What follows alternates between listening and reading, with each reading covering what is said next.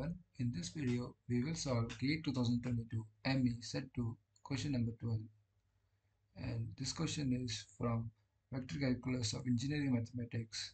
And the question is, consider a cube of unit edge length and sides parallel to coordinate axis with its centroid at point 1, comma 2, comma 3. The surface integral f dot dA of, of a vector field f is equal to 3x i cap plus 5y j cap plus 6z k cap over the entire surface area A of the cube is and these are the four options. Now we can use the Gauss divergence theorem to solve this question and the Gauss divergence theorem simply relates the surface integral over a closed surface to the volume integral around the enclosed in the closed volume given by the divergence of this vector field. So now to solve this question we have to find the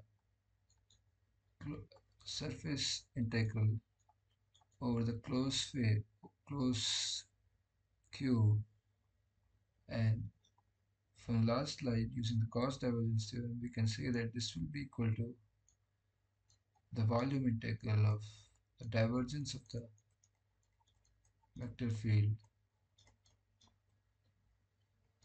Now let's calculate the divergence of the vector field.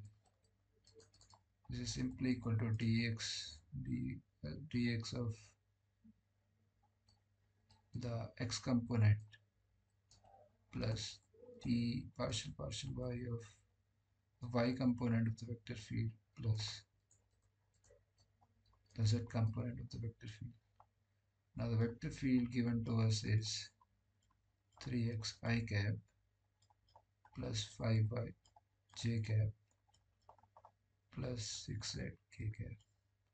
So this is fx for us, this is fy and this is fz. Thus the divergence of f becomes 3 plus 5 plus 6 which is equal to 14 therefore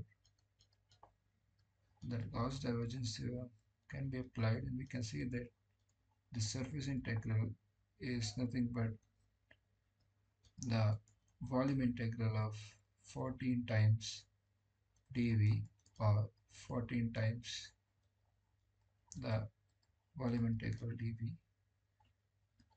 or 14 times v. Here since this is a unit cube of unit edge simply the volume of the cube becomes 1 and then